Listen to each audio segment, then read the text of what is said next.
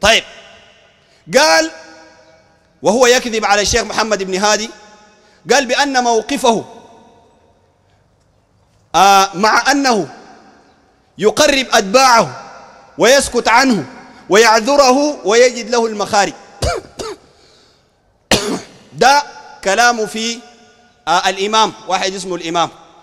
قال إنه قال قال موقفك شنو؟ قال غير الواضح ولا شنو؟ كذا عشان ما عشان ما نقول كلام ما يهو. أيوه. كذا دقيقة خليني نرجع ليه؟ الكلام عشان عشان نشوف الحاصل شنو. طيب. ها؟ أه؟ قال موقفكم الذي لا يحمد مطلقا. لا ما ده. ها؟ أه؟ أيوه. بعدين في نقطة مهمة الرجل ده صبر على ناس جماعة الكتاب والسنة خمسة سنة. أيوة. حسب كلامه في المقال. أيوه. صبر عليهم خمسة سنة ما نشر النصيحة اللي هو اللي, اللي نصح عليهم والشيخ محمد بن هادي ولا شهرين ما صبر عليهم. عرفت الحاصل طيب يلا هو بيتكلم عن محمد الإمام. قال فموقفكم من المدعو محمد المعبري الملقب بالإمام مع وقوفكم التام على حقيقة منهجه المنحرف تجاه الروافض الحوثة. قال وقد أرسلت إليكم قديما قبل الوثيقة المعبرية وثيقة وكلام ومقال رد على علي الرازحي وكذا.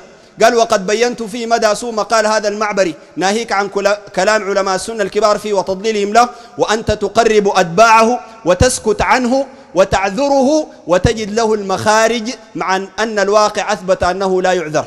بتين لقلوا المخارج. ها؟ لقلوا المخارج بتين يا نزار هاشم. شوف الكلام ده كيف. وبتين سكت عنه. ما قال عنه الشيخ آه محمد بن هادي حفظه الله أنه أن هذا الرجل آه أنه يسكت عنه مش قال عنه الكلمة دي؟ ها؟ أعمى الله بصيرته سكت عنه كيف؟ طيب نمشي سريع. فده كذب على الشيخ أنه يجد المخارج ويسكت عن محمد الإمام. ده كذب واضح وهو تكلم فيه. عرفته كلامه محفوظ وإن شاء الله؟ الكلام بيجيك موثق يا نزار هاشم. فلا بد تتوب وترجع من هذا الكذب الذي طعنت فيه بغير وجه حق.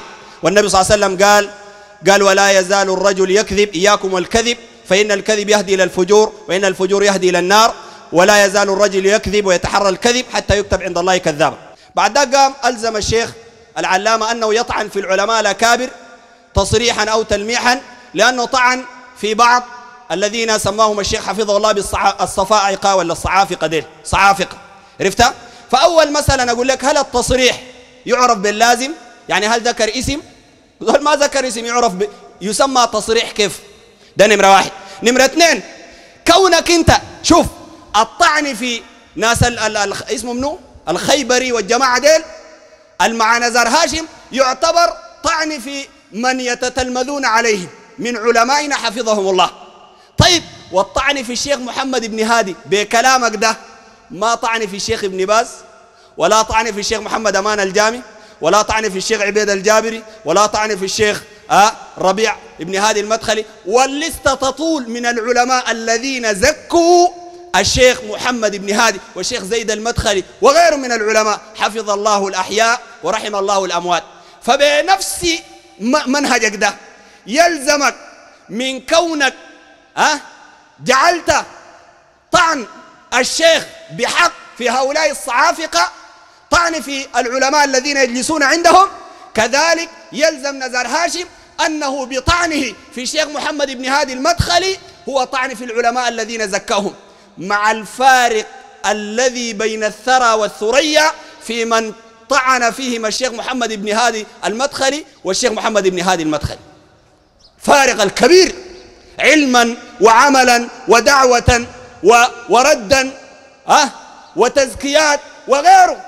من الأمور التي يعلمها السلفيون. عرفتها فيلزمك إنك أنت ذاتك يا نزار هاشم بال 16 صفحة دي اطعنت في العلماء الزكوا الشيخ محمد بن هادي المدخلي. يلزمك. ولن تخرج من هذا اللازم إلا أن تتوب وترجع إلى الله. يلزمك. ها؟ إذا كان الصعافقة ديل الصعافقة قطع الطرق الطعن فوقهم يعتبر طعن في علمائهم. أنت يا نزار هاشم محمد بن هادي المدخلي يعتبر طعن في الشيخ ابن باس ويعتبر طعن في الشيخ الفوزان. ودي كلها موثقة تزكيات هؤلاء العلماء للشيخ محمد بن هادي المدخلي. وطعن في الشيخ ربيع وطعن في الشيخ زيد المدخلي وطعن في غيره من العلماء الكثر الذين طع... الذين زكوا الشيخ محمد بن هادي المدخلي وأنت طعنت فيهم.